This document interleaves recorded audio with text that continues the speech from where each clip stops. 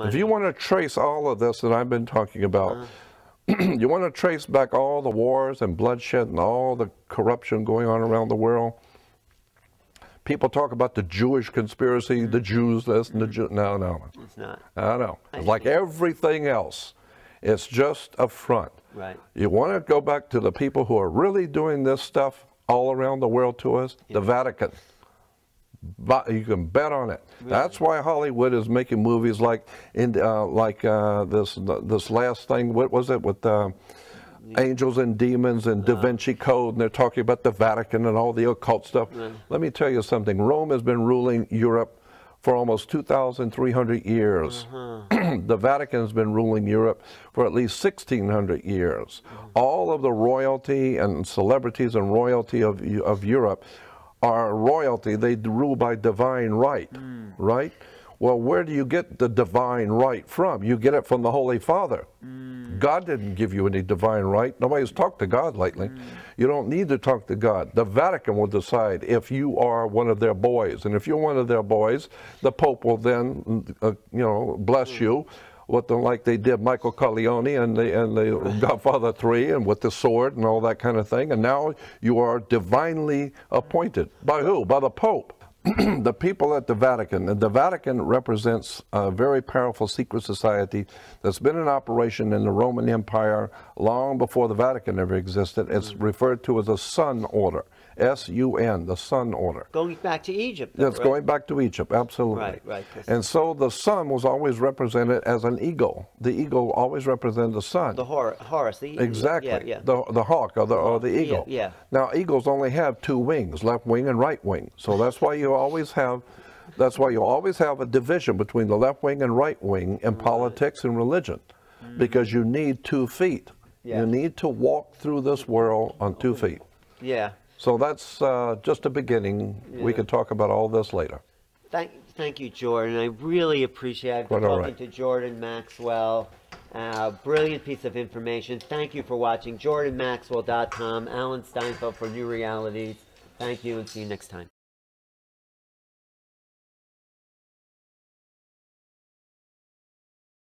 Estate Claim Letter Notice of Beneficiaries July 11, 2016 His Holiness Francis 00120 Vatican City State, Europe Most Beloved Francis, we write to you today regarding settlement of all debts owed to the true God, to the actual universal Church, to us, our family, our countrymen and to all people of this world. It has been three years since you issued your motu proprio. It is written that when what is true comes, what is false must pass away. It is also written that Satan is the father of all lies so that there can be no doubt where lies come from and the ultimate fate of those falsehoods. It is also written that Yeshua will come again and at the same time, he promises that he is with us always. The meaning of this is now clear. He never left. He lives in us. He is here and now it is time for the kingdom of lies and the rulership of Satan to end. We are among those appointed to destroy by our lineage foretold and written on the altar of the Church inviolable. Now we must draw your attention to some facts plainly stated in the Bible. 1. Peter, that is, faith in forgiveness, is the cornerstone of the church Yeshua founded, yet Peter is the precisely the stone rejected by the builders of the church that arose from the Council of Nicaea. Peter was never the bishop of Rome. 2. Paul was the apostle to the Romans and founder of the Roman Church. Thus, Paul, not Peter, is the founder of all that you cherish and the bishop of Rome that you follow, but you cannot have it both ways. No man can have two masters. This is the central problem and dilemma of the church, the lie at the foundation that must be addressed. To correct this you must take Peter, faith in forgiveness, into your heart. 3. Judas betrayed Yeshua in one way and Peter betrayed him in another. Both men were guilty, and of the two, Peter most of all, for Judas only offered up the body, but Peter's sin struck at heart and mind as well. How is it then that Judas despaired, went out and hanged himself, yet Peter who bore the more heinous sin wept and rose up to glory? Peter who loved Yeshua had faith in him, he knew that the love and wisdom of Yeshua would not fail. Peter knew he could be and would be forgiven even the greatest of sins. Thus he was able to rise up and do great things despite the enormity of his own sin. 4. We encourage you to take Peter's lesson into your heart today as you face the enormity of the Church's betrayal, not just of the body of our Lord, but of his mind and spirit as well. Let Peter be your cornerstone at last. Let faith in forgiveness guide you to choose life and glory for the Church, instead of despair and an ignoble end. 5. You must lay aside all claim that authority passed from Peter to the Vicar of Rome. The Vicar of Rome is the Vicar of Rome. All pretense otherwise must be set aside, for that is the basis upon which so many other lies and sins recline. 6. We must also admit that Pope Innocent III was possessed by the spirit of falsehood and ego. His works and his ways must come to an end both within and outside the Church. He dishonored the peace of God and instead of loving our Father set himself up to reign as a false God and false steward and he taught his successors to deal likewise in iniquity, cruelty and blasphemy. 7. The Church has become wealthy and unimaginably powerful and has not only fornicated with the kings of the earth, but given birth to them, and they have committed many atrocities in the name of God, heaping blasphemy upon blasphemy. The Church so adulterated and those monarchs thus promoted have usurped and misled mankind into gross suffering, unnecessary peril and divine reckoning. 8. We won't enumerate even a very short list of the past sins of the Roman Church, but we assure you that they are all these things are fully known in great detail and will not be forgiven if they are not confessed and repented. 9. The kingdom of lies which has thus been founded amounts to a principality of the dead, a realm of incorporated legal fictions and personas, and what are these but more lies? It is therefore clear that the Church of Rome has colluded in this with the father of all lies and has grown rich and powerful because of it. 10. Even as the Church of Rome's wealth and power has grown and the reach of its administration extended into every aspect of our lives, its spirit and connection to the Lord of life has declined, until now it stands on death's doorway.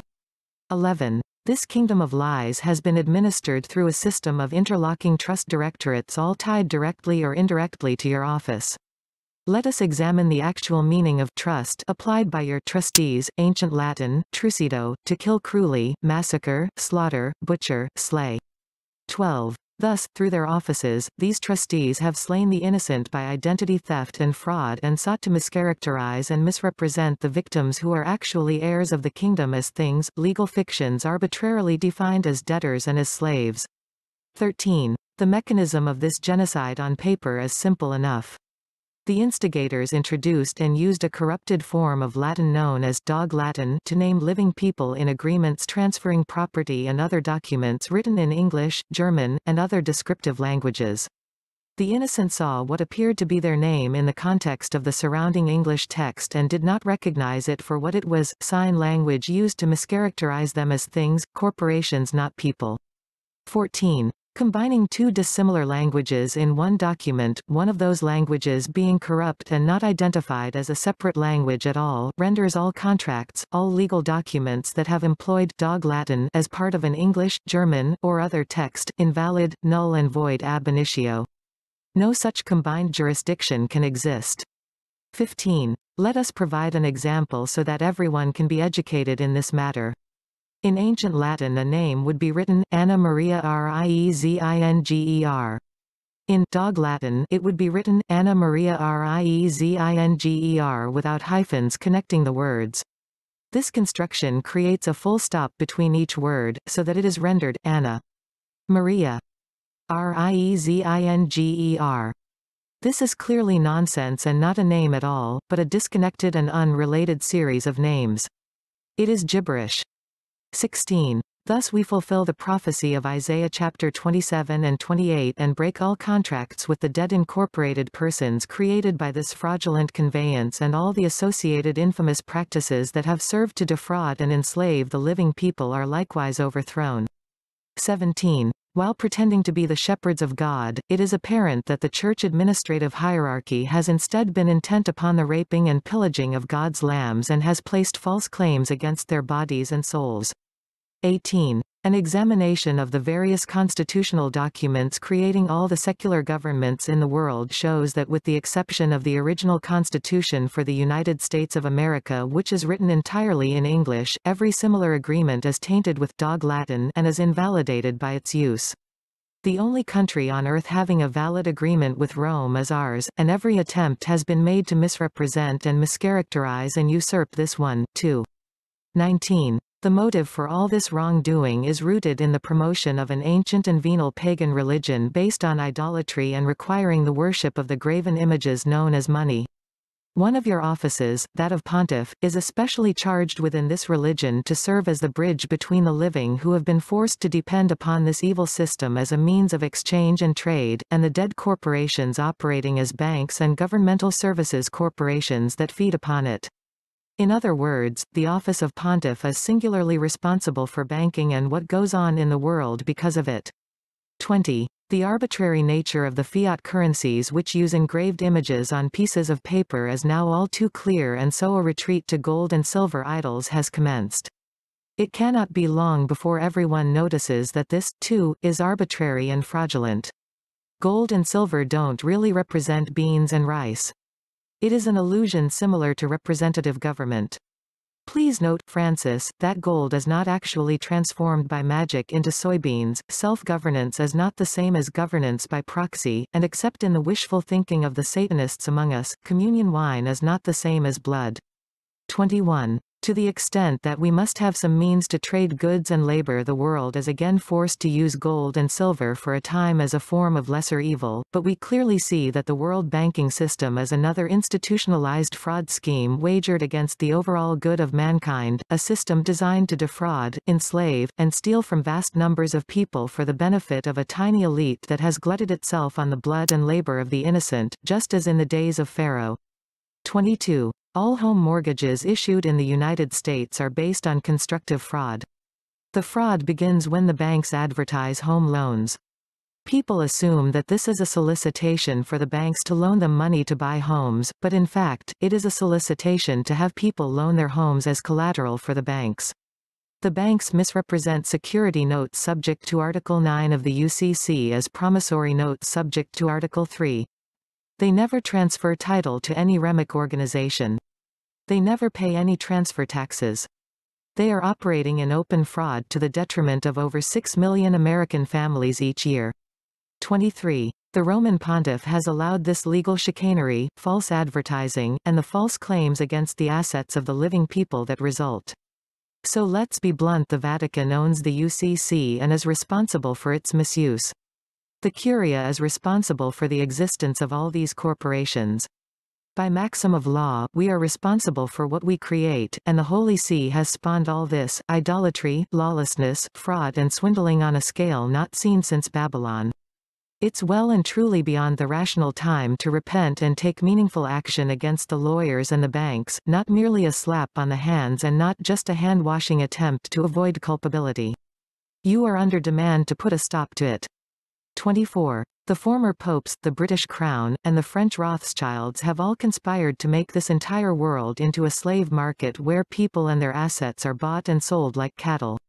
In America, people are bonded without any knowing consent before they are out of the cradle, and these bonds representing assets that belong uniquely and only to them are offered for sale to investors who participate in this unlawful and unholy trade without even recognizing it for what it is. The profits are siphoned off by the Roman Church and the British Crown and the French Central Bank owned by Rothschild. 25. The slave bonds known as CUSIP bonds are created and then traded through the Bank of New York and the DTC, DTTC.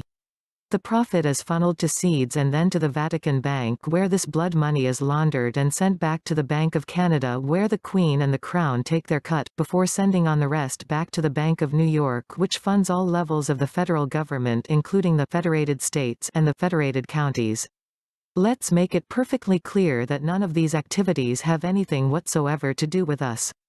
None of these states of states or counties of counties are ours.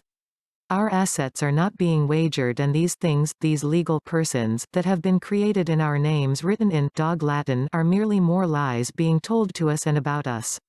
And once again, it is time for this to stop. We are assets of the land, not the sea. Our nativity must be recorded, not registered. We are people, not persons. 26. As noted, the only constitution that is grammatically and jurisdictionally correct is the American Constitution written over 200 years ago and that communication is still binding upon Rome and England, as are all the treaties which led up to it plus the Treaty of Ghent issued in 1814. None of the other countries have a constitution that is enforceable, so it is up to us to clean up this filthy mess and hold Rome and the British monarch to account for it. The gross misadministration and criminal trespasses that we and the other nations have suffered must come to an end without further obfuscation or delay. 27. As affirmed by the Alaska State Superior Court operated under Article 10 of the only actual constitution by birthright Americans, there are still 50 states upon the land operated by living people who are proven heirs and beneficiaries and they have come forward to claim their estates in their own behalf and that of all the other American people, too. 28 galling as it may be to generations of church leaders and European monarchs who have deeply compromised their honor and betrayed our trust, the agreement stands and you are on the receiving end of it. The good faith agreements made by the Americans have been honored by the Americans. It is now upon your honor and the honor of the British monarch to repent and reflect on the many debts that are owed to the Americans, Canadians, Australians and others. 29. Our government is not in any interregnum as a result of our international laundry service changing hands. We are still here, operating our actual and organic states as we always have. 30. Our government does not need any postliminium rights, as our government has not been overcome in war or any other struggle. We have merely been set upon by criminals and pirates that have been allowed to prey upon us by unfaithful, incompetent, dishonest and fully culpable trustees, both popes and monarchs. The world can read our standing agreement with Rome and with the British monarch and see what it shall see. If you dishonor your agreement with the American states, you dishonor it in front of the entire world. If you attack the Americans or meddle in our affairs or do anything but clean up your joint operations on our soil and give us good faith service from now on, it will be clearly seen by the entire world who is responsible for the chaos and violence and who has done or failed to do what is right in the sight of the one true God. 31. In 1822 while under full international treaty and concord, while acting as our trustees in the jurisdiction of the air and the jurisdiction of the sea respectively, and enjoying all the powers and benefits thereof, the then Pope and the British monarch signed the Treaty of Verona and agreed to undermine our lawful government which is of the people, by the people, and for the people, not of the person, by the person, or for the person, and set upon the current course of infamy. 32. The American treaties require that all of us who are living people claiming our birthright as American state nationals are recognized to be sovereigns equal to the King of England or France when standing upon our land, and we are further guaranteed safe passage and protection and friendship in perpetuity when we or our vessels in trade or commerce traverse the international jurisdiction of the sea. This, summed up from the treaty obligations of Rome and England, is what we are owed and what we have always been owed and which we claim. 33. We declare that no noble ends are served by evil means and no excuse exists for the history leading to this circumstance. Murdering, raping, pillaging, evicting, cheating, slandering, mischaracterizing, thieving, enslaving and press-ganging for Christ is not a tenable position to be in, no matter what extenuating circumstance may be offered for it. 34. Those Satanists who have operated within the Roman Church and excused their activities and presence as a necessary duty to teach the difference between good and evil have served no such purpose at all. We are all perfectly able to tell the difference between good and evil and also have the ability to recognize evil disguised as good. This is self-evident from the presentment before you. 35. We declare that the law of Noah was overcome by Moses who parted the Red Sea and the law of Moses was overcome by Yeshua who parted the veil between life and death and the law of Yeshua stands. It is past time to stop living in the past which like all lies and incorporations is dead. We are all the inheritors of one precious living moment and it is called now. Let us take action now against these evils because there is no other time or place. 36. The perversion of our perception of time and cutting of the day into hours is yet another swindle and attack against our wholeness, our good, and our minds.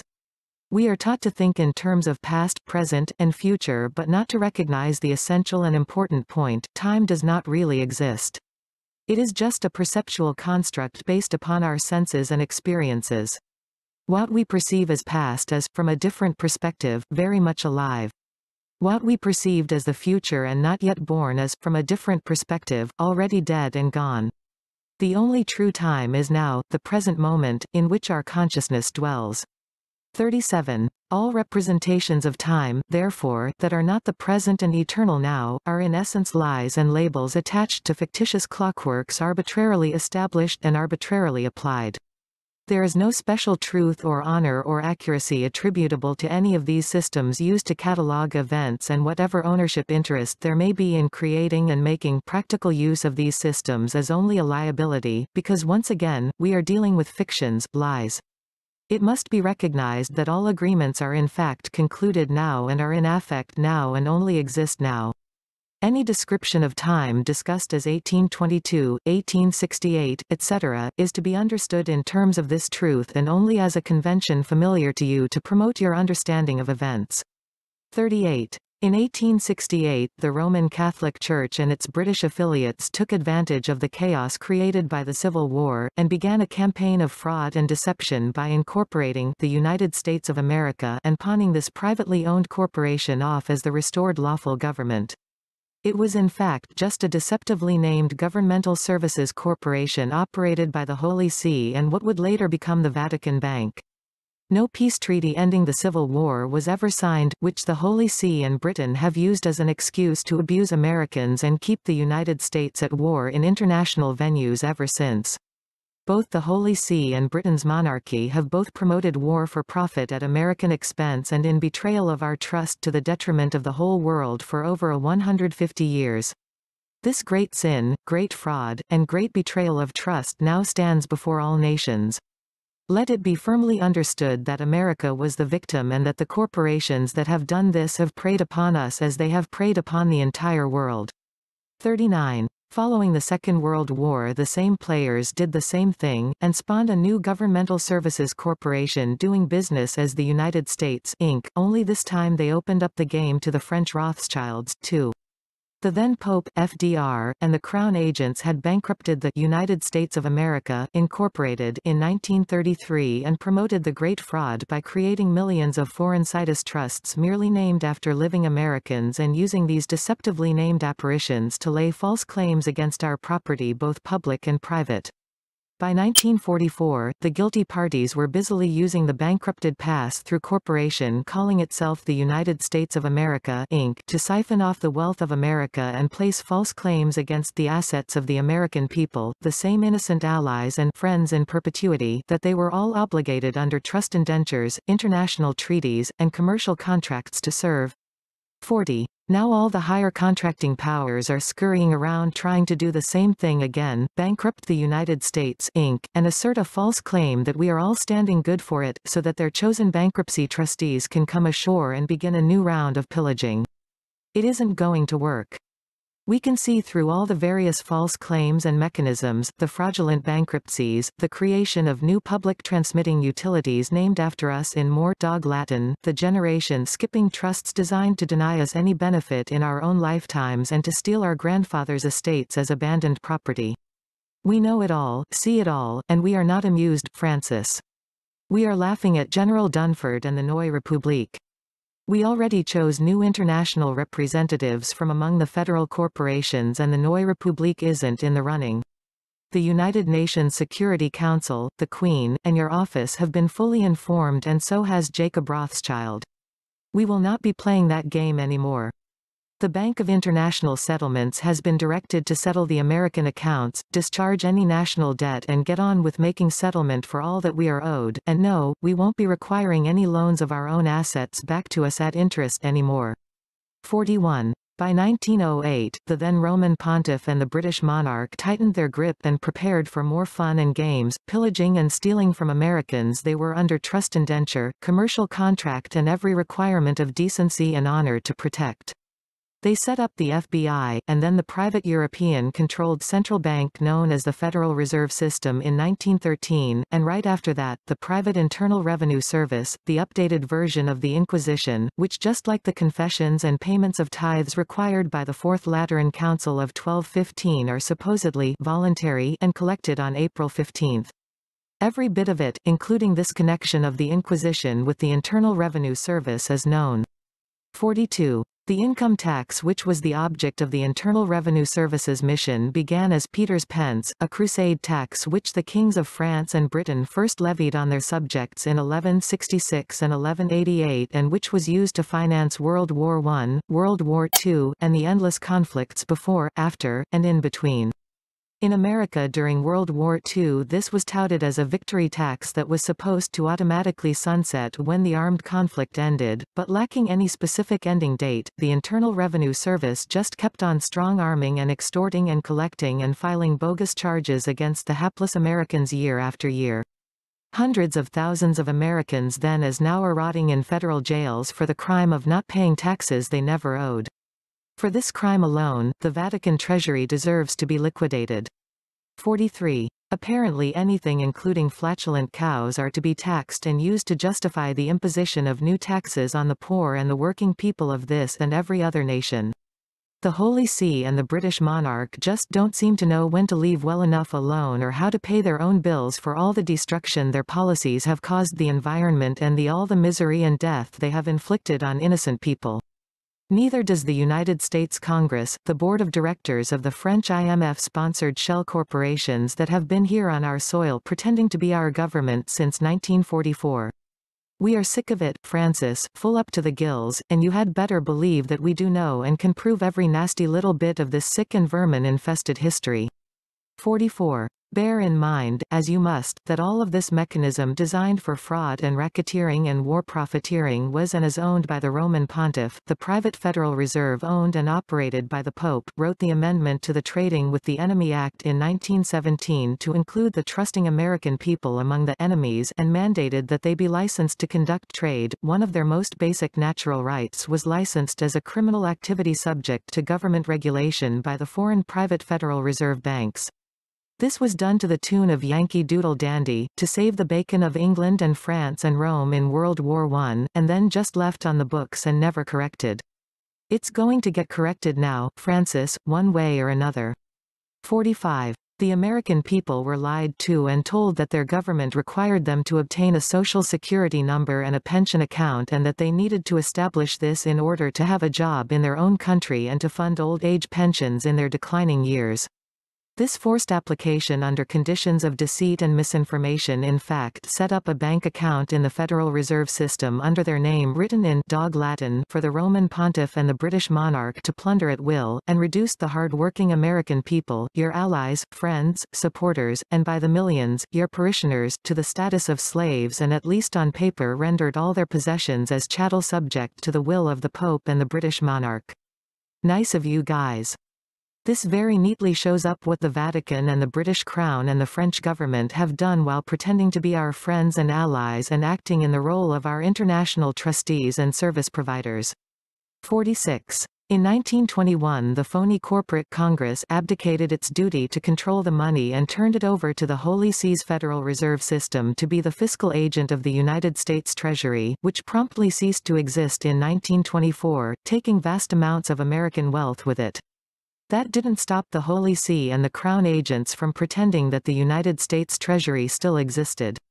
They just renamed their own shill companies after it, in a dizzying array of permutations, the United States Treasury, the Treasury of the United States, the United States Treasury Department, the U.S. Treasury, the Department of the Treasury, take your pick, Francis. After that, you can kindly deduce that we are not playing this game anymore. 47. There is one actual American corporation still standing and it is called the United States of America. The word United is just a descriptive adjective. The word United is not part of our trade name and never was. The states of America are sovereign states, not incorporated states of states. Our states are the ones that do all the incorporating, not the incorporated franchises thereof. Everyone, worldwide, really needs to get this straight, America equals States of America. United States equals our hired help. United States of America equals their hired help. 48. Every act passed by this phony corporate Congress since 1868 applies only to the federal corporation and its actual employees. Each and every act, as in play performance, passed by these jokers has to be approved by you or your delegated minions, the so-called Lord High Chancellors in equity, otherwise known as the cardinal bishops parading around in every archdiocese. It is all made explicit in Elements of Ecclesiastical Law published in 1894. Every statute authorized by these criminals is canon law, and your direct responsibility. This includes the income tax and the legalization of abortion and gay marriage and the so-called Affordable Health Care Act, Patriot Act, and so much more. We suggest that you make good use of your red ink pen, but that is not really our business, is it?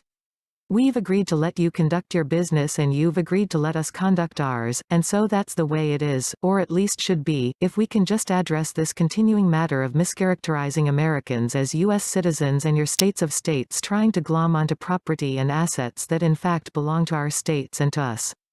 49. All the men and women parading around here in black robes pretending to be American judges are nothing whatsoever but private bill collectors of the Vatican and British Crown and French Central Bank, which is busily trying to palm its debts off onto us and enforce them as our debts by fronting the Neue Republik, and some of them are priests of Cybele, otherwise known as Ashtoreth, the mother of harlots and the great abomination. These pagan priests have had a special relationship with the Roman pontiff since the 2nd century BC and they are still here, promoting every kind of evil, fraud and deceit. They've run their course here, Francis. Tell them to vacate our courthouses, and never again seek to confuse anyone here about anything. 50. The Council of Trent is what Americans have been forced to live under and nearly all of us have been commandeered at birth, mischaracterized in violation of the Geneva Conventions as foundlings and capitulated as slaves, and according to you and Queen Bess, we are all what is called United States citizens, but it is left unstated which United States? The sick, vile, venal, depraved, constantly bankrupted, violent, and disgusting empire of lies that the pontiff and the monarchs rule over, or the United States we are owed by you and Elizabeth II? We need to get this straightened out, Francis, and right about now. Feed my sheep, he said. That doesn't translate as rape and kill them because they are stupid. It doesn't translate as dumb them down some more so that they can't even read English, much less read Latin and then use that same ignorance as your excuse to enslave and steal from them. 51. There has been a great deal of identity theft and deliberate constructive fraud based on deceptively similar names going on and not just with things like the United States Treasury Department that doesn't exist or the three different versions of Internal Revenue Service with three different commissioners at their respective heads. According to the Definitive Treaty of Peace, Paris, 1783, we are the free, sovereign, and independent people of the United States, not the inhabitants, not British subjects merely here to provide governmental services. Yet, via deceit, false registrations, and every kind of deliberate confusion including the use of dog Latin, we have been misidentified as British subjects, mere residents of our own country, taxed as foreigners, mischaracterized as corporations, robbed, murdered, jailed, and treated as anything and everything but what we are. You and Elizabeth II and the Rothschild bankers are responsible for this, even though it got started a long time ago, it has come down to you, it is up to you to do the decent things required by the law of Yeshua to end it and to admit that both the law of Noah and the law of Moses are at an end, rendered obsolete and meaningless by the law of love. We are not obligated to obey the 80 million statutes standing on the books of the truly evil empire, and we are here to tell you that we are not. 52. It was 2008 when we brought this situation to the attention of Benedict XVI and he promised to end it. Eight long years have passed. When I contacted the Archbishop here and asked for his help in observing and ending the foreclosure fraud in his role as Lord High Chancellor in Equity, not a word was heard. Not a peep. Not a centime was dropped in our collection plate. After three certified letters in the name of and under the orders of Pope Benedict, no change was made. No effort was made to stop the probate fraud. Nothing was done to recognize and expedite the reconveyance of property back to the Americans it belongs to. If anything, the rush to grab up more property and harm more Americans was accelerated. The man that Benedict entrusted with the seal of St. Peter was arrested and railroaded on bogus charges and is sitting in a federal prison, and here you are, Francis, allowing all this to go on? These persons work for you. They act at your command. They are dependent on your payroll. Reconvey all the property back to the Americans to whom it belongs as of 2008 when our claim was made. There may be reasons but there are never excuses for letting this go on another day. 53. We have waited while those directly involved in the administration of this giant manure pile have entertained us with false flags and threats and tried to issue mandates disarming us and have assembled commercial mercenary armies on our soil, operating under color of law as the new FBI, DOJ, BLM, DHS, FEMA, BATF, etc., bankrupted more versions of United States and United States of America, and continued to prosecute false claims against us and our property assets via private corporate tribunals tribunals that don't have any valid jurisdiction related to us. Look at the situation with Lavoy Finicum, an American rancher murdered by the FBI at the behest of the BLM which was engaged in a shady deal trying to sell the Russians our uranium. Read our lips, Francis. This isn't going to fly. Everyone on Earth can and will recognize at last what the United States is and that it is not America, and then, inevitably, the Americans will rise up on one side and the rest of the world will rise up on the other, and anyone left promoting this criminality will be alone and in the middle, hated by both sides. Ever heard the saying, between a rock and a hard place? That's where the Church of Rome and the inner city of London and Jacob Rothschild and all the other party hardies who have promoted and condoned this outrageous fraud are sitting. Therefore, make haste and agree with your brother. Return the purloined property interests owed to the Americans and their lawful government. We remind you that fraud vitiates everything, even the most solemn contracts, and that this entire circumstance was created by the most venal kind of fraud and sophistry, identity theft.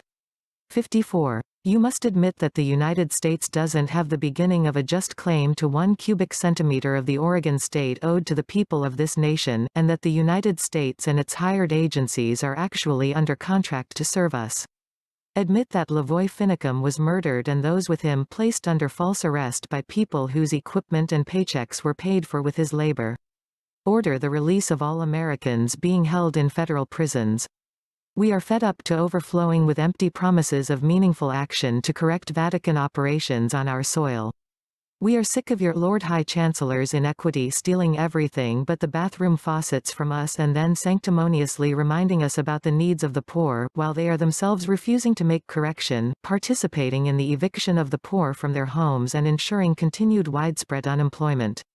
55. The criminal abuse and mismanagement of the United States and the deception and horrible abuse of the innocent American people and their states on the land for 150 years has led to America being hated and feared around the world through no fault of its own. We have been deceived, used, misled, betrayed by men, popes and monarchs, who literally owe us their lives, their security, their wealth, their positions of honor, and instead of saying, thank you, several of those perpetrators responsible have indulged in plots to kill their creditors.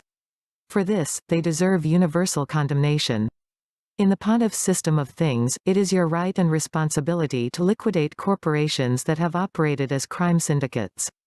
We can imagine no greater crime than to defraud people so as to amass odious debts against them and their estates, and then use that same debt as an excuse to attack those who are in fact the priority creditors. 56. The only states the Vatican owns are states of mind, legal fictions created from lies, formed from empty air by the father of all lies. The living people are owed the actual land and the sea and the air. Not one iota of it belongs to anything. We are here to remind you that the true Lord created man and that we are people, not persons. Our grandfathers' estates are now ours. There can be no claim of abandonment. Our states, actual geographically defined states on the land, are owed freedom and the security of their borders and support for their lawful governments and generosity toward their people. All these inequities must be balanced, all these injustices righted. 57. So, Francis, let our people go. Let the Americans go in peace and return to their own rightful political status and restore their own lawful government. Meddle with us no more and forbid the British and the French and other subject nations from interfering. Expedite the exodus. Release every bit of American soil and every asset of our country which has been held under false pretenses and subjected to false claims. Thumb your nose at Satan, for his time has come. If you do what is right in the sight of the true God, and even now seek his kingdom and repent what has gone on here, your mercy will merit mercy in return. A great and final Passover is in preparation. In a single night those who refuse to repent and who refuse to give mercy will be removed from our sight. They will be gone as if they never were, together with all their evil works. They will be gone and they will not be remembered. So the joy of those who have suffered will be complete and there will be no cause to mourn or think of what might have been or yearn after those who are gone. Even the grief of any loss will be spared the blessed, who will not think of evil or feel fear or remember losses anymore. Thus will the will of the King of Kings be executed and against this just correction no man or nation of men can stand. He will not kill 500 million and ruin the land for the sins of 500. He will not burn in anger against those who cannot understand. None of the unjust claims and contracts and lies of Satan will bear fruit. Even now they are passing, broken before you, like chaff blowing away in the wind, like shadows disappearing into light. Do not fear their passing or seek to hold onto them. The living cannot be conjoined with the dead. A copy of our decision regarding the status of the American estates is attached. There are indeed more than enough living men who are verified as the progeny owed this country to reclaim each and every nation-state. America is not abandoned and not subject to the claims of secondary creditors. Please inform the United Nations, the Bank of International Settlements, the President of the United States, the Joint Chiefs, and all the others who need to know. The Vatican and its franchises must disgorge all the titles to American property which it has been holding under false pretenses and profiting from. All our property including the copyright to our given name, our birth certificates, our baptismal records, our land deeds and records, mining claims and patents, trademarks, signatures, powers of attorney, automobiles and other private property must be reconveyed and returned to us free and clear. No individual action or separate claim can be required to effectuate these remedies, all Americans and the American states must be made whole. The burden of proof of natural United States citizenship or voluntary status as a citizen of the United States must be assumed by the perpetrators of this fraud against us. Our nature as living men and women and our birthright political status must be honored. All American homes foreclosed upon since 2008 must be returned to their lawful owners and or all equity owed, all losses, inconveniences, costs, and damages paid up. Any collateral damages, forced sales, attorney fees, property losses or debts incurred as a result of fraud and false presumption upon Americans must also be repaid and made good. All seizures of private property, evictions, acts of extortion, and racketeering against American state nationals mistaken on purpose as United States citizens or citizens of the United States must stop. All American state nationals including all unincorporated business employers must be released from any presumed obligation to collect or pay income taxes. The consequences of incorporating any business entity must be clearly stated and fully disclosed. All military and administrative tribunals operated by the United States or any federated state of state or county of county must clearly and fairly describe their jurisdiction and exactly who or what clientele they serve. These same courts which have been used to harm must now be used to heal. All court cases, all court orders, all land deeds, titles, contracts, warranties, patents and agreements of any kind utilizing or referencing dog Latin must be held null and void, reversed, and to the extent possible, remedied. All Americans merely presumed to be United States citizens and being held in federal custody for nonviolent crimes must be immediately released. All others must have their cases promptly reviewed and prepared for release to the custody of the actual American states and counties.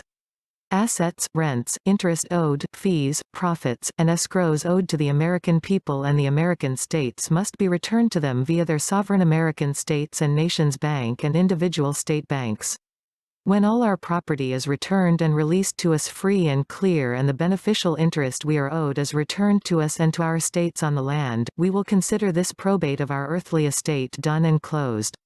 Until it is, the entire Holy See is subject to our lien and our complaint is firmly lodged with the universal court and in heaven unseen.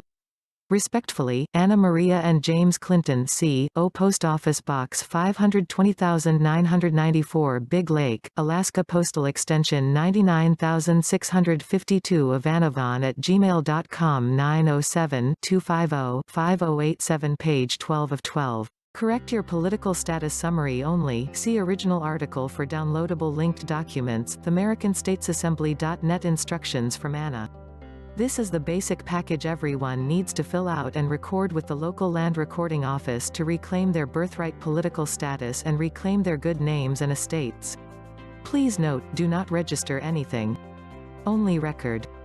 If your local land recording district or county land recording office won't record your paperwork, look for a county that will.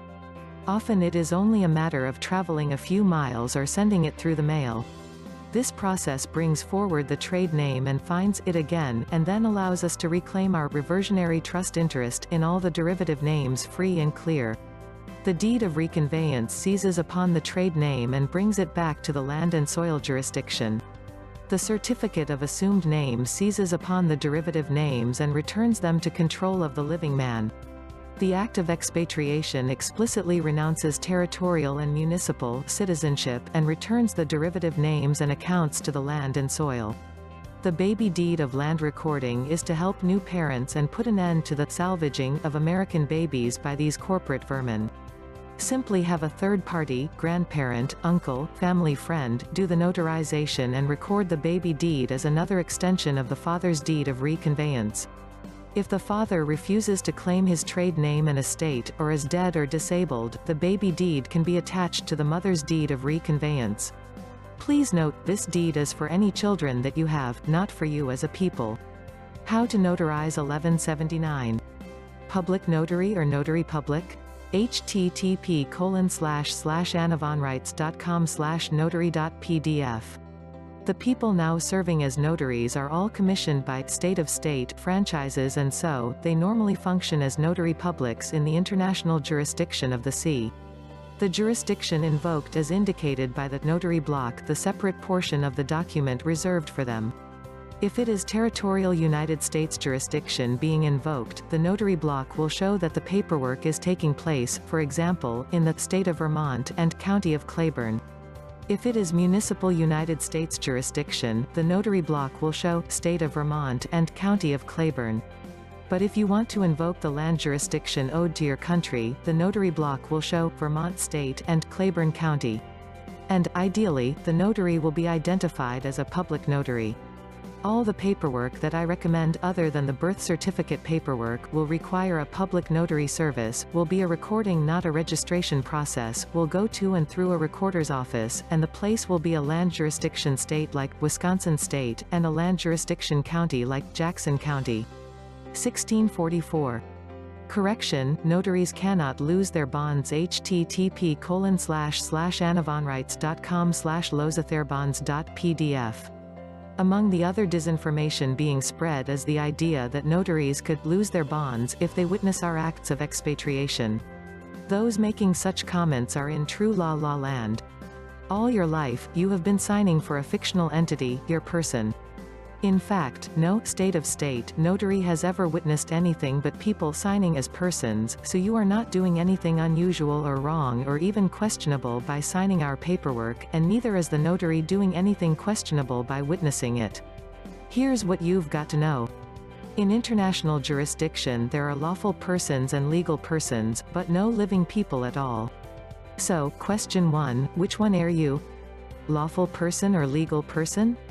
We settle the first question, lawful person or legal person? With the act of expatriation and the deed of re-conveyance.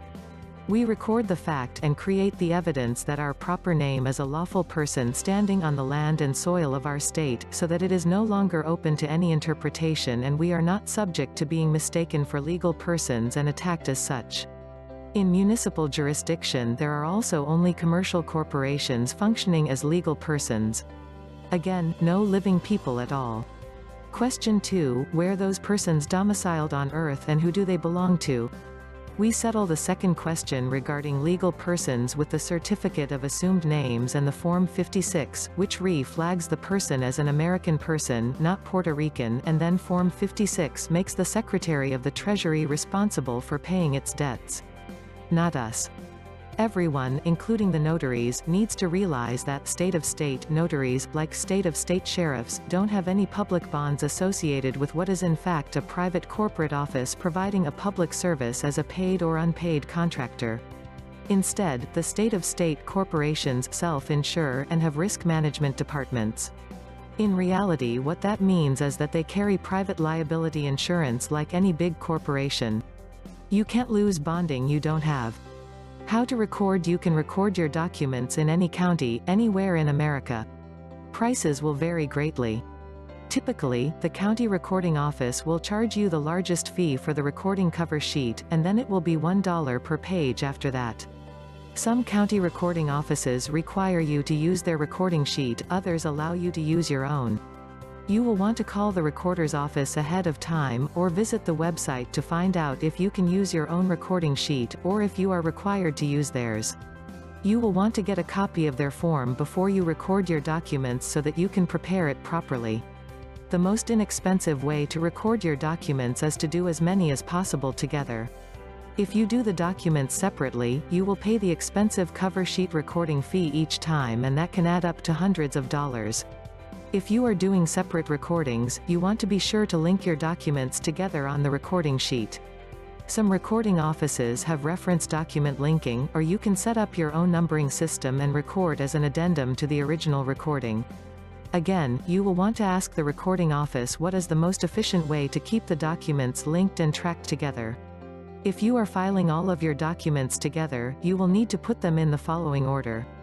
Deed of Reconveyance Certificate of Assumed Name. Act of Expatriation. John Doe. Act of Expatriation. John M. Doe. Act of Expatriation. John Mark Doe. Cancellation of all prior powers of attorney. Foreign Sovereign Immunities. Act DNA Paramount. Claim Marriage Paperwork. Baby Deed of Land Recording Diagram of the Fraud. Optional. How to autograph for your deed of reconveyance. You should autograph your name in red ink. For your deed of conveyance, you should autograph in blue ink. Here is the guidance from Anna, they, the new immigrants are starting out at sea in the international jurisdiction of the sea and are conveying themselves to our land jurisdiction for the first time, therefore they use blue ink. When we reconvey back to the land jurisdiction of our state we are giving notice to the sea jurisdiction authorities that we are back home on the land where we started out, which is why we sign in red and record the paperwork. We are native to these shores, not foreigners. We came from here and we are returning home, coming back after being shanghaied. The new immigrants are foreigners coming from overseas for the first time ever. Does it make sense that a person who goes on a sea voyage and then returns home is in a different position than a person who goes on a sea voyage and lands in a foreign country? Okay, so we use red and new immigrants use blue because we are starting out from different places. We are native and they are naturalized. We come from this land and return to this land. They come from over the sea and come ashore here. End of story. For all other documents, you should autograph your name in blue ink. Be sure to include your copyright symbol after your name. Don't forget your red thumbprint seal. When editing the templates, be sure to remove the word seal from the document. The autograph should be by first middle last copyright red thumbprint should touch your autograph all rights reserved without prejudice. Step 1 Birth Certificate Authentication 791 Step by step, what you've all been screaming for, part 1 http colon slash slash annavonreitz.com slash stepbystepert1.pdf Step 1, sit down and look at your birth certificate and understand what it is and how it functions. It has two basic functions. First, it is an insurance indemnity receipt which is required under the Lieber Code, Hague Conventions. They have to give you an indemnity receipt for the property they are stealing from you, essentially an insurance policy guaranteeing that your property won't be harmed as a result of their use of it. This makes you the subrogee, the insured party and priority creditor of your own estate holdings. This process of registration as opposed to recording creates a separate person named after your given trade name, yet owned and operated by a franchise of the Municipal United States, the separate government of Washington, D.C., operated as an international city-state by the members of Congress. When you get your BC authenticated by the United States of America State Department you find out for sure which federal corporation is issuing the birth certificate you have been issued. In most cases it will be a state of state, like the state of Washington, but in some cases will be a federal department, such as the Department of Defense. Second, the birth certificate as a bond, literally. It is a bond issued against the value of the estate or more recently, public transmitting utility assets that belong to you. A bond is an IOU. A promise to pay under stipulated conditions. You have the certificate proving that you are the actual owner of the assets being bonded, but until and unless you claim your exemption from their system of things, the benefit of the bond goes to the state of state or department that is insuring your purloined property against loss or damage.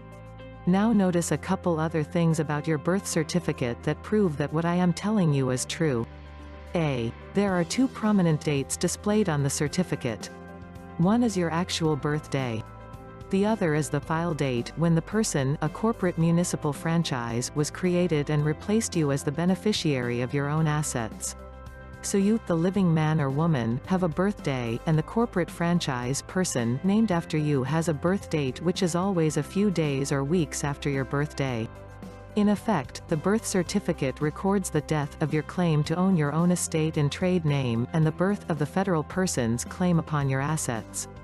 You are always the holder in due course, the party having the first claim, first in line, first in time, to the trade name and estate, but if you don't claim it, or know how to claim it, you are out of luck and disinherited. B. The birth certificate is signed by the registrar, an officer of the probate court, which proves that your estate was probated. The living American state national, for example, the Minnesotan named William Bales Jensen, was taken off the title of his natural estate and his natural nationality and political status was changed to that of William Bales Jensen, a federal municipal franchise corporation and citizen of the United States, that is, a citizen under the diversity clause of the old federal code which allows corporations to be citizens. C. The birth certificate is issued on bond paper, giving you silent notice that the assets named on the face of the document, your unlawfully converted estate assets including the copyright to your trade name, your land, your labor, everything that you could ever own, has been seized upon and bonded by the organization issuing the certificate. D. The process of false probate just described results in the unlawful conversion of your name and estate assets, makes you a U.S. citizen instead of an American state national, removes you from the jurisdiction of the land and deprives you of your constitutional protections, makes you indebted and obligated to pay the bills of foreign corporations, and otherwise plays havoc with you and your entire country. E. This is done without your knowledge or consent, without your parents' knowledge or consent, and the people doing this to you are on your payroll, supposed to be rendering you good faith service the whole while. Because you don't know that this is being done to you and that these false claims against you are being made, you have no opportunity to object to them, much less delve through it to rebut all these lies and claim your exemption and exercise your indemnity. Now a few further notes, for many years the vermin seized upon your given Christian trade name, just as you were taught to print it in first grade with a first name, middle name, and last name all written in upper and lower case like this, John Michael Doe. Their federal franchise was structured as a Cestui Que Vie State Trust operated under the same name written in all capital letters, John Michael Doe. Most recently, the Vermin have tried to change their stripes and instead of creating their fictional persons as Cestui Que Vie state trusts, they have been creating public transmitting utility franchises named after you. How can you tell the difference? The estate trusts are all named with the full first, middle, and last names appearing in all capital letters, John Michael Doe. The public transmitting utilities all appear with only a middle initial, but still in all capital letters, John M. Doe. Please note that any name in any style that uses only a middle initial is not a legal name. It is meaningless and void for lack of specificity. Was that John Michael Doe or John Mark Doe or John Marvin Doe or John Maxwell Doe or, or, or?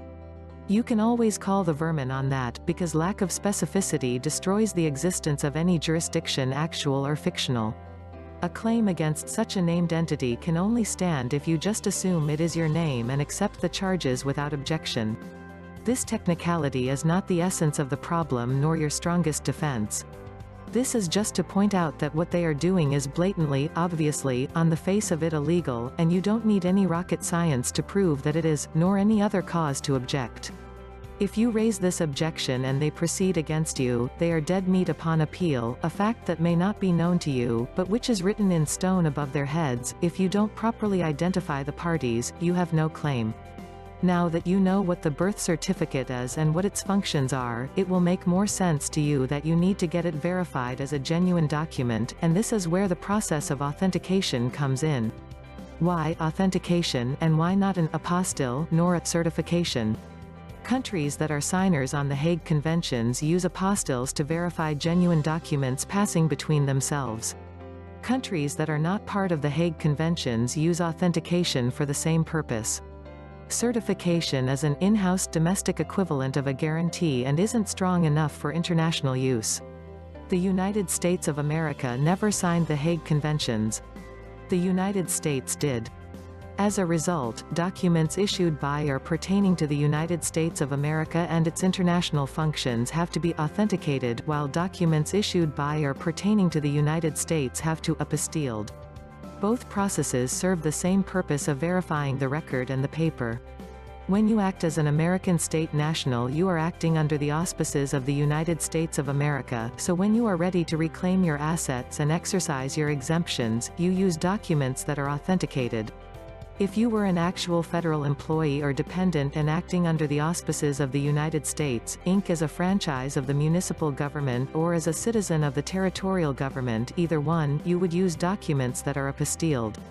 All that is the reason why you go through the turkey trot of getting your records officially verified and why you need to do this correctly. I recommend getting at least two if not three copies of your birth certificate ordered from the vital statistics people. Keep one and send two to the State Secretary of State and ask for an authentication to do business in Indonesia, a non-Hague Convention country. They will add a cover sheet, signature, and seal guaranteeing that the attached BC is genuine. Next, take the state-authenticated documents and send them to the United States of America Secretary of State's office in D.C. and request the same service, authentication of the BC for use in Indonesia. Each authentication requires a small fee. At the end of the day, you get back a three-page document, the original BC you got from Vital Statistics, the State Secretary of State's cover page and, on top of that, a yellow, heavyweight cover page from the USA Secretary of State's office. That yellow page verifies the authenticity of the State Secretary of State's guarantee and it tells you explicitly which federal entity state of state franchise or department issued the indemnity receipt and is responsible for guaranteeing your exemption from all this rot. Now, finally, you have the proof in your hand of what has been done to you, who did it, and who is liable for it. You have the lawnmower, and now all you need is the gas. Step-by-step -step instructions for Authentication Process 1 Order your certified birth certificate through Vital Records online from your birth state. The general link is https colon slash slash vitalrec.com slash request several certified copies I suggest minimum of three but probably five is better. These will be printed on bond paper. 2. Once you receive the certified bond copies, you will go to the Secretary of State website for most states, however in some states, for example Hawaii, you will need to locate the correct department for authentication. You will fill out the form on the Secretary of State or authorized office website to request each birth certificate to be authenticated. Fill out the form and with the certified birth certificates and a check for the correct amount. At the very least, send them certified mail return receipt, but it is recommended to send them registered mail because your documents are s in possession of a postal service employee at all times. Please note, some states will only provide an apostille, for example California. You will need to request travel to a non-Hague country such as Indonesia to have the apostille correct. 3. Once you receive these authenticated and birth certificates back from your Secretary of State, you will then send them the U.S. State Department to be authenticated. Here is a link to the website, to the form, and the address to send it to. Send a check or money order for $8 for each birth certificate to be authenticated. Website information, https colon slash slash travel dot state dot gov slash content slash travel slash and slash legal slash travel dash legal dash considerations slash internal dash judicial dash asked slash authentications dash and dash apostilles slash requesting dash authentication dash services dot html. Form to fill out https colon slash slash eforms.state.gov slash forms slash ds4194.pdf. Mailing address, Office of Authentications U.S. Department of State CA, PPT, S2, AUT 44132 Mercure CIR PO Box 1206 Sterling, VA 20166 1206. What if your birth certificate name is not in all capital letters? Some states are issuing birth certificates with proper case name. In that case, you will use the name assigned on the birth certificate and follow the other steps accordingly. Hand carry option for U.S. State Department authentication This option below will have Tony Azuzi hand carry your birth certificates to Sterling, VA office for U.S. State Department authentication. Please note, they only open their office from 8 to 9 a.m. F. The fee for this service is $40 which includes the State Department fee. Multiple copies are $30 each. 3 BCs equals $90. You must mail the documents in a large envelope using FedEx and must include an envelope filled out with a return address postage prepaid so all Tony has to do once he gets the document authenticated is put it in the envelope provided and mail it back. The authenticated document will have a brass ring attached. Allow up to three days turnaround plus mailing time. His address is Tony Azuzi 1400 K Street Northwest Suite 102, Washington, D.C. 20005 Phone 202-658-1160 Step 2 Assign U.S. Secretary of the Treasury as the strawman fiduciary 560 how to correct your political status and why http colon slash slash annavonreitz.com slash correctyourpoliticalstatus.pdf. Please note the information below is corrected and updated to apply to American state nationals. In the original article, it had instructions to create a Treasury Direct account using the registered mail number. This is for U.S. citizens only, not for American state nationals. If you accidentally requested this, simply send a notice of correction letter to Secretary Mnuchin. The template is located below. Closing parenthesis. You have been mischaracterized and defrauded and you have prima facie evidence of that readily available. You think of it as your birth certificate, but it isn't. It is a certification that a federal municipal person was created and named after you and that at one point in your life you were a real American. You were born on your birthday, but the municipal person has a birth date which is several days or weeks later, the filing date shown on the certificate. Please note that the birth certificate is printed on bond paper. It is a security instrument. Please also note that it has been signed by the registrar, an officer of the probate court. This is prima facie evidence that your earthly estate was probated when you were only a few days or weeks old and that it was seized upon by the state of blank, or state of underscore, blank, and operated for its benefit from that time on. So, step 2, ditch the federal municipal person and the responsibilities and obligations associated with it. You need to get the birth certificate certified, and then you need to endorse it and surrender it to the U.S. Secretary of the Treasury. Please note the two dots between the U and the S, the U.S. Treasury, and make Steven T. Mnuchin the fiduciary responsible for IT. The endorsement is simple but exact. The certified birth certificate that the birth state Secretary of State sends back to you will have a cover page riveted or hard stapled and firmly attached to the front of the BC. Please note, in some cases the state may use just a certified seal, for example Washington. Every state is different. You leave that cover page attached and on the front of the BC itself in the upper left-hand corner and in red ink you write, accepted by Drawee and sign it by, your upper lower case signature, and date it. Then turn the BC over and on the back anywhere write, in red ink, pay to the order of the United States of America, U.S. Treasury. Without recourse. And again, write by, your upper and lower case signature, and date it. Next comes the Form 56, which is the IRS form called Notice of Fiduciary Relationship. This is your notice to Mr. Mnuchin that you are making him and his office responsible for the person named after you. The Form 56 is very simple, the name of the person is the name on the BC which you are returning to the Treasury. The name of the fiduciary is Steven T. Mnuchin, Secretary of the Treasury. You can look up the address online. I believe it is 1500 Pennsylvania Avenue Northwest, Washington, D.C. 20220. Section A F Other Public Commercial Trust Administration. Section B 4 check A, B, and H Other and just say all forms that may be necessary. On the back Part 2 7 C Other Surrender of Federal Person to U.S. Treasury. On the back Part 3 Court and Administrative Proceedings enter the name and address of the agency issuing the BC. The date proceeding initiated will be the file date which is never your birthday, but a few days or weeks later. The docket number will be the state file number on the BC. The time will be the time you were actually born, and the place of other proceedings will be USA.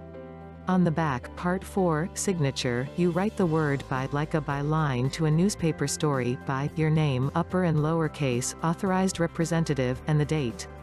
Underneath the signature is a blank space. It is appropriate to say that you wish to be indemnified against claims or losses under the Sovereign USA Private Registered Indemnity Bond AMRI 00001 RA 39342764 US. This is basically a bond posted in behalf of all the actual states of the Union and all the people living in those states insuring them against any further claims related to the municipal person s they have surrendered back to Mr. Mnuchin. And that is that. You have now surrendered the municipal citizen back whence it came and you have insured yourself against any further claims or losses or charges brought against that person. Along with the Form 56 you should include a brief letter stating that it is your instruction to operate exclusively under 100% commercial liability and without benefit of any limited liability or other benefit of the Public Charitable Trust PCT. You are going to send this package of documents via registered mail to the Treasury. Each red and white registered mail label, available with instructions at all post offices, is unique and has an alphanumeric identifier to track it. Also ask him to settle all debts and charges related to your name. Thank him for his time and attention. Well, that was a royal pain and you shouldn't have ever been entrapped and obligated by your employees in the first place, but now you have taken action to sever the presumption that you are volunteering to act as a federal municipal citizen, and nobody can say otherwise. From now on, it is Mr. Mnuchin's problem and you are indemnified against any further claims or complaints related to it.